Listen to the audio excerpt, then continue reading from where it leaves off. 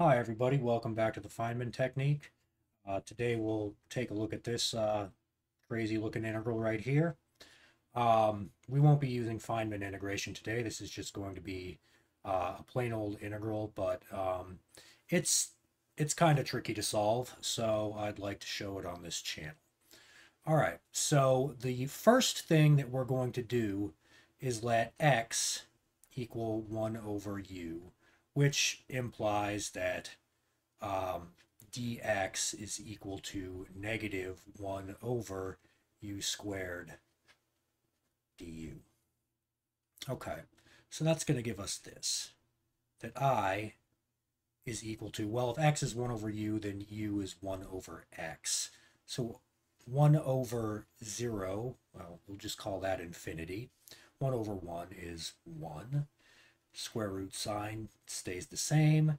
Now we're left with natural log of u, and then our dx is negative. That negative sign I will use to switch our bounds of integration. So now, instead of going from infinity to 1, we will go from 1 to infinity, and then over u squared du. All right, now, the next substitution we're going to make is that u is equal to e to the w. All right. Well, that implies that du is equal to e to the w dw. All right, so now our i changes.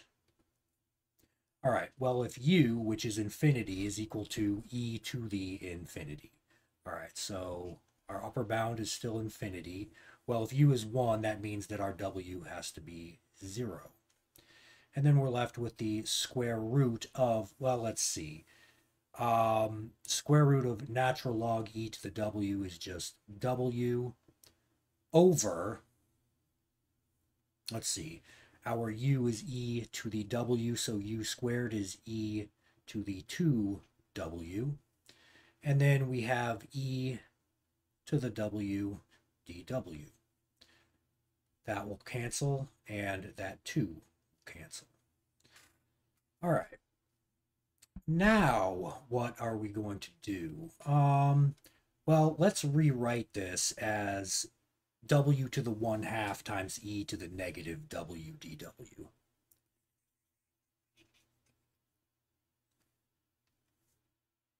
w to the 1 half times e to the negative w dw. All right, now let's let w equal t squared. All right. So what does that give us? Well, that means that dw is equal to 2t dt.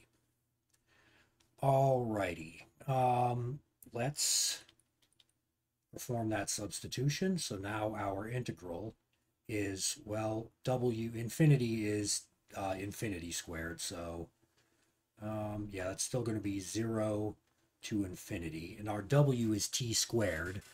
w to the 1 half would simply be t.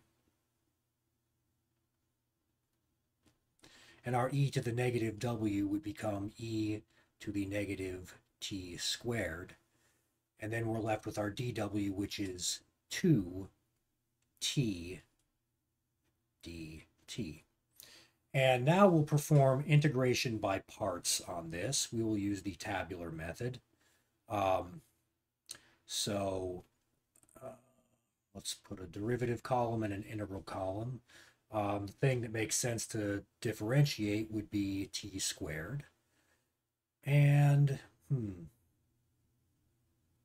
No, you know what? We can't do that yet. Um...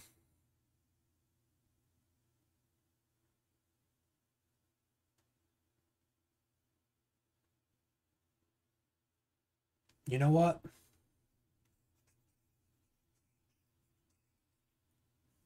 Let's go ahead and use integration by parts on this form as it is.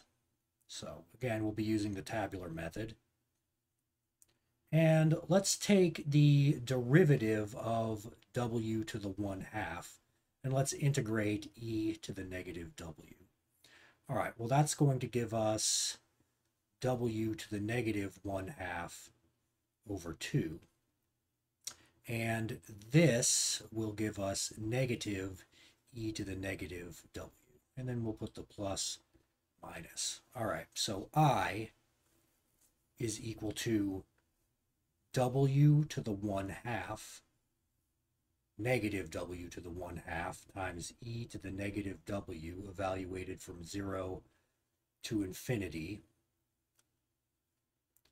Let's see, plus the integral from 0 to infinity of w to the negative 1 half e to the negative w dw over 2. So 1 half of that. Did I do that right?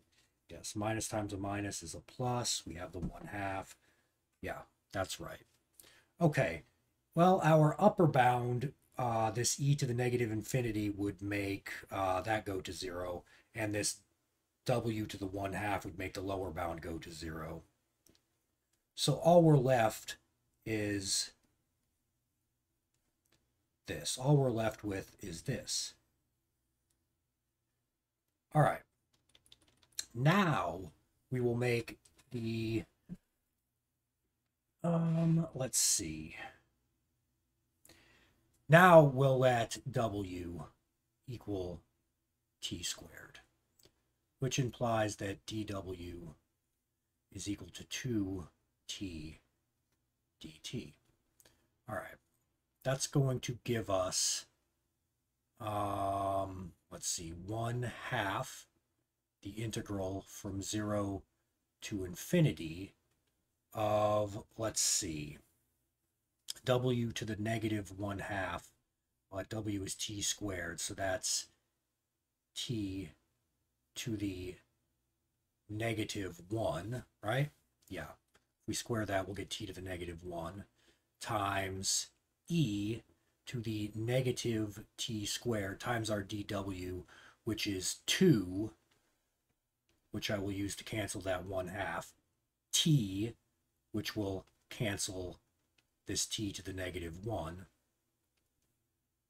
dt, which is half the Gaussian integral, which is equal to the square root of pi over 2.